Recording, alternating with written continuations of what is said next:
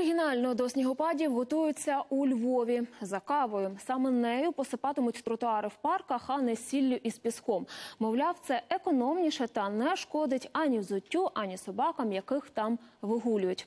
У кого перейняли такий досвід та як відбуватиметься комунальне кавування, розкаже Христина Гашенко. Кава у кав'ярнях, ресторанах і пабах. Горнятко цього запашного напою – одна з візитівок Львова. Місто вважають українською кавовою столицею.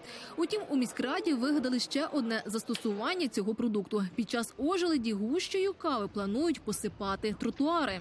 Кавова гуща має абразивні властивості. Крім того, кавова гуща є корисною для рослинності. Вона покращує стан ґрунту, вона підживлює рослинність. А ще дешевша за піскосуміш. Піскосуміш потрібно треба збирати, коли е, топляться сніги. А кавову гущу не треба буде збирати з парків, їх просто треба буде підмести в клумби, е, банально під кущі, під дерева, і вона буде слугувати такою собі підживкою. Щодня львівські кав'ярні викидають десятки кілограмів кавової гущі, тож не проти спрямувати її на добру справу.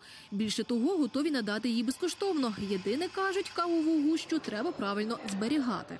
Кавова гуща, яка залишається після приготування кави, вона містить вологу. Відповідно, ви не можете її е, зберігати більше ніж кілька днів. Вона просто починає цвісти і псуватися.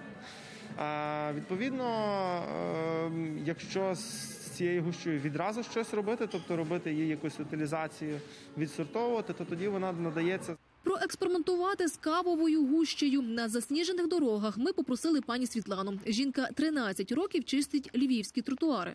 запах, приємно так. А пісок, піскосуміш, то є піскосуміш.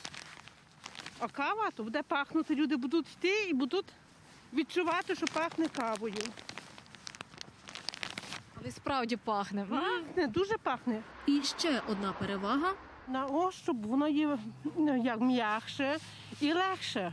Бо тому що е, пісок і сіль, піскосуміш, воно є тяжке, а то є легше, тим краще. Кавовою гущею наразі посипатимуть лише тротуари в парках. Власники собак новацію вітають, бо ж кажуть, піскосуміш зазвичай роз'їдає лапи їхніх улюбленців.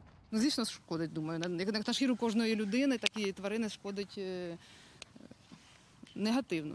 Ідею з кавовою гущею Львів перейняв у Великій Британії. Там у деяких містах почали впроваджувати таку екопрактику.